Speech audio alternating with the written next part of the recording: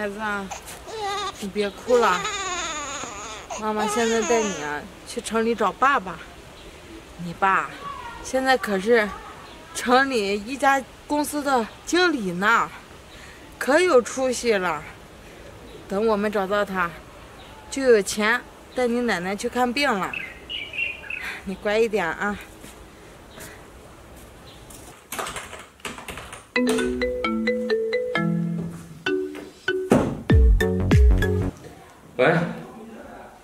啊，刘大保什么事？什么？有一个农村妇女找我。那行，那你拿进来吧。啊，就这样吧，再见。农村妇女。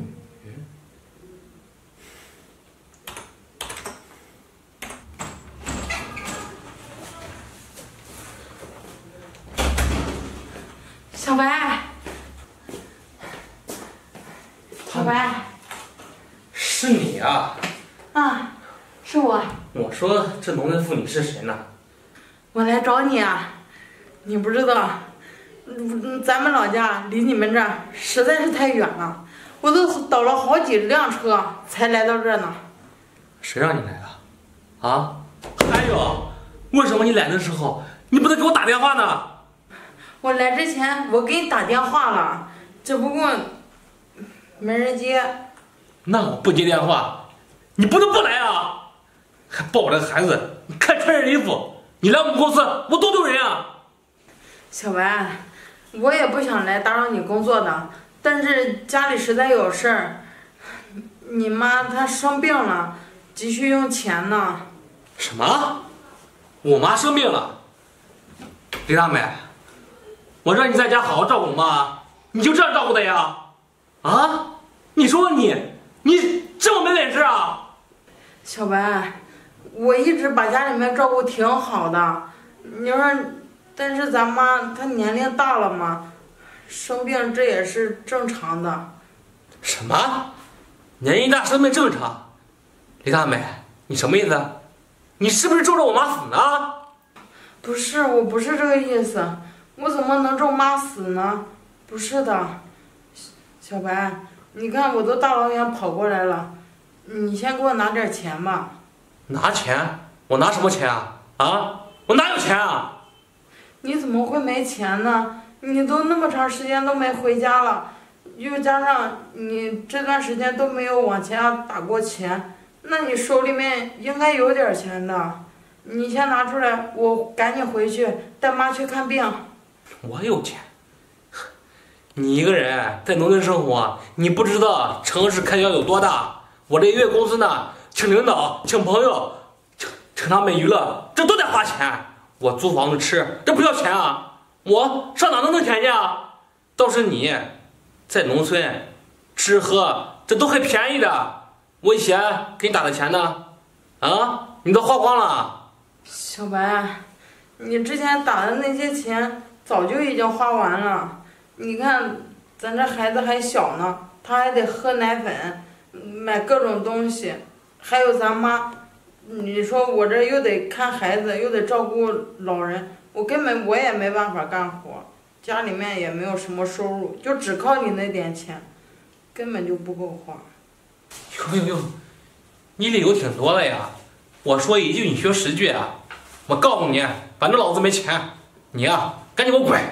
你看你穿这身衣服，被我同事看到了，别人怎么笑话我呀？啊！你看我穿的这么好，要不别人知道我有这样的媳妇儿，这别人还指不定在背后说我什么呢？小白，你现在怎么成这样了呀？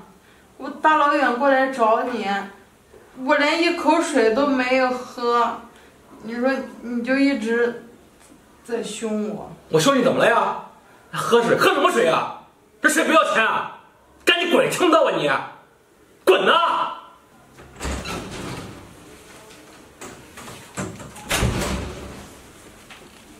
白经理，你看。哎呦，董事长，这个文件是谁做的啊？怎么不对呀？啊，这这个，这个好像是那个呃李大帅做的。那个董事长，我等下让他改。好好好，回头让他看一下啊。啊行。赶紧走吧！没看我正忙着呢。白经理，这是谁呀、啊，那个董事长，他呢就是来应聘保洁的。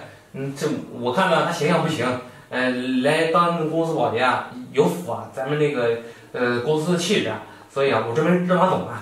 你给我拿点钱，我就走。行，给你二百块，赶紧走。白经理啊，这是怎么回事啊？你怎么还给他钱呢？他不是应聘保洁的吗？啊，这他说来应聘保洁呢，这什么什么路费啊，他找我报，你看报不了的要求呢。你，这样，呃，算了，多一事不少一事，你赶紧算了啊，这个钱我给你了，赶紧走吧啊。姑娘，这到底是怎么回事儿？你说一下。董事长，我不是来应聘保洁的，我是他的结发妻子。你说什么呢？你会不会说话呀？白经理，你别再说了，我什么呀都明白了。她呀，就是你的妻子，这怀里抱的，也就是你的孩子吧？你怎么能这样对她呢？董事长啊，这这，你说的对，她是我的妻子。你承认了呀？那你为什么赶她走啊？董事长，他嫌我是农村的，嫌我穿的破，说他现在都是经理了，说我来公司找他，给他丢面子。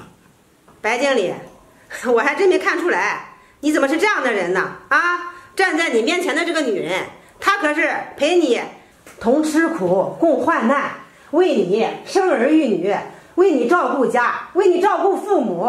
你有现在的成就，全部都是她的功劳。白经理，你现在做到这个位置了，却嫌弃她，却不敢认她，嫌她丢你的人，那以前你干嘛去了？你没听人家说吗？这一日夫妻百日恩，真吃还是家常饭，真穿还是粗布衣，真疼啊还是你的接发妻。白经理，你呀、这个工作呀也不要干了，你回去啊好好反省反省，把这件事给我处理好了再来上班，董事长，你这别再说了，赶紧走吧。行大美，走吧，回家，走吧。白经理，我告诉你，你能不能回来上班啊，全靠你妻子说的算。啊那个，来，孩子我抱着。东西我给你拿着，走，咱回家看看咱妈去。